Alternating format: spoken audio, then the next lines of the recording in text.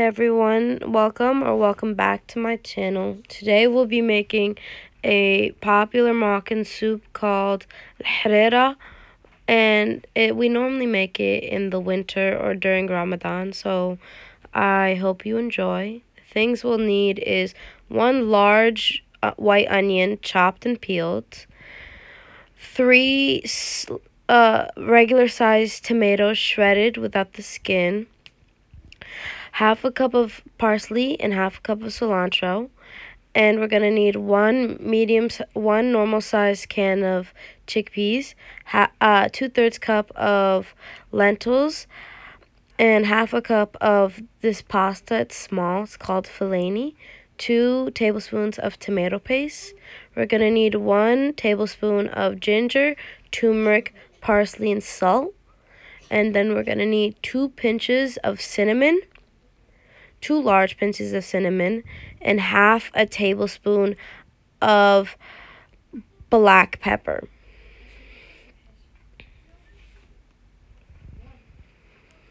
And don't forget the olive oil, and if you have, you can use it, but if you don't, it's fine. It's called ghee. It's a type of butter. So now we have our pot too. It's a it's a big pot. It's a normal big pot. And in that pot, we'll we're gonna we're gonna put in two two um two big like a two big tablespoons of olive oil, just enough to cover the bottom, and the heat's on low medium, medium low. So remember that. We're gonna put the olive oil just enough to cover the bottom.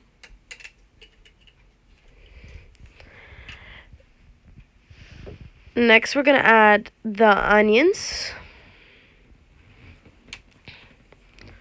Most, most of the parsley and the cilantro, just leaving enough for later, leaving just a little bit for later, but most of it.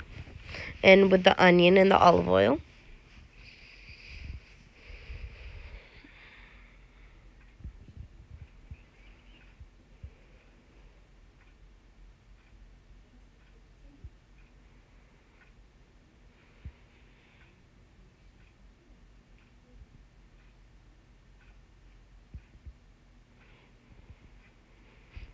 So we're going to stir that just to incorporate it. Next, we're going to add the shredded tomato. And we're going to add just a little bit the spices. And then we're going to add all the spices. And next, we're going to add just a little bit of the of hot water, like boiling hot water that we boiled earlier just a little bit to and to um, help mix the spices and everything together. So just a little bit. We're going to stir that all together, incorporating all the spices, making sure everything's stirred into it well.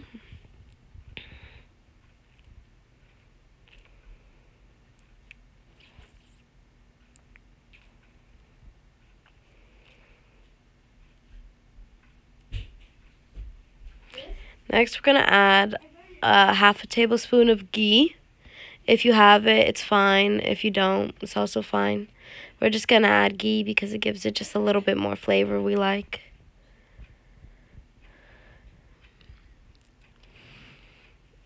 And we're just going to stir that and let that cook. Next, we're going to grab half a cup of flour, half a cup to two-thirds, and we're going to add water into it and we're going to stir that around a little bit until it becomes sort of like a paste or a little bit liquidier than that. Make sure its consistency is a little bit runny and not too thick.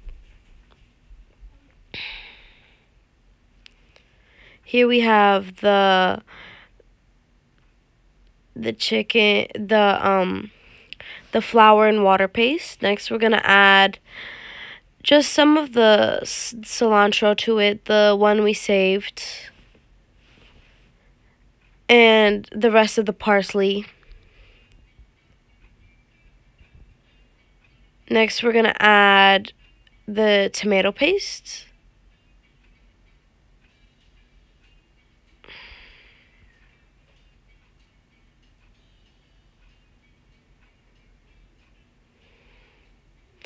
And incorporate all of that into it. We're only going to add like a tablespoon or a teaspoon of the tomato paste. Only half of it. And we're going to stir that up real real good. Make sure there's no lumps of tomato paste in it. And as we check back in on the little things we have in the pot, it should be steaming. And we're going to add the lentils to it.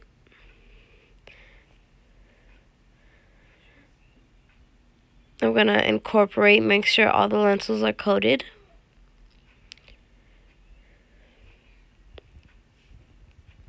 Just we're going to stir everything in there.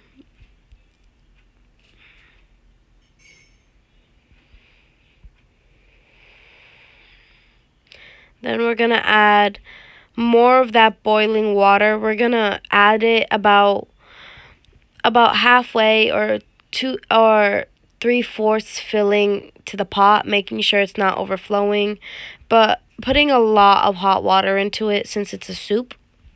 We're going to stir all of that. You can see all the lentils, and it's very, very runny and thin. Next, we're just going to cover that and let it cook, bringing it to a boil. We brought it to a boil and next we're going to stir it. You can see that it's bubbling and there's a lot of steam coming out of it.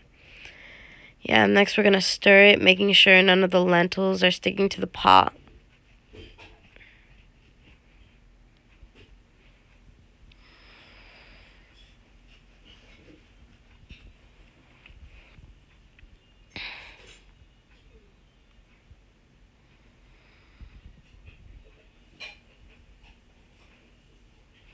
Next, we're going to add the flour mixture that we made earlier.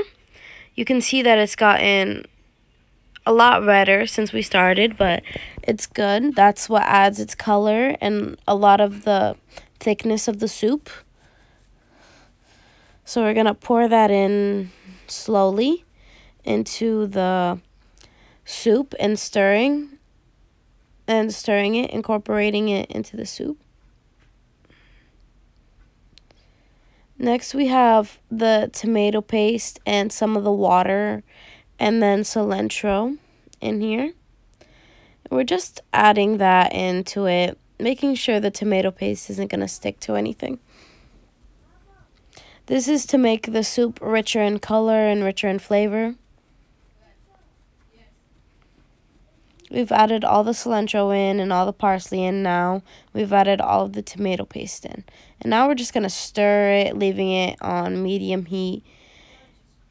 And now that you can see it has, it's bubbling, it's very bubbly. It's boiling, it's steaming over.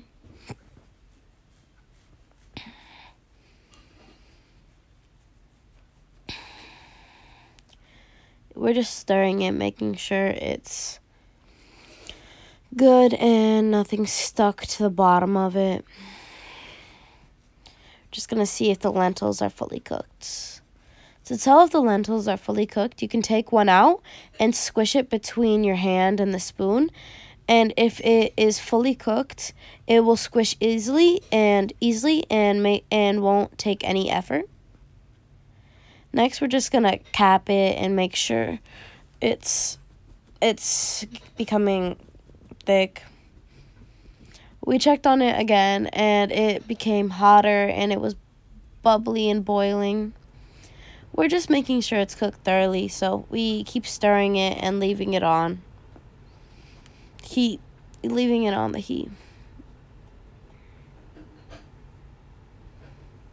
Next, we're going to add the chickpeas, all of them.